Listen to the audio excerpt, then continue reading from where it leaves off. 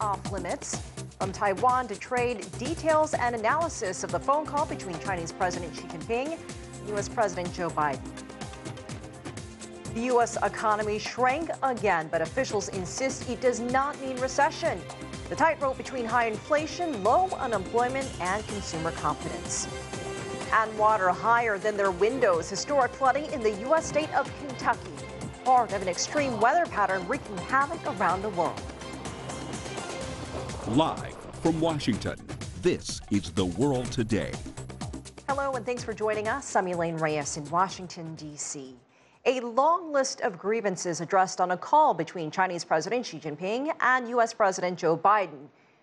Owen Fairclough, CGTN, Washington. Coming up, Ukraine's capital once again in Russia's crosshairs.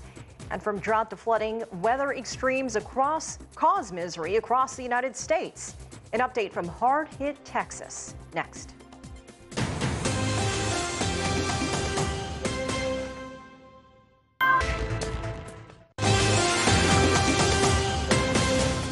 The Russia Ukraine conflict now in its sixth month.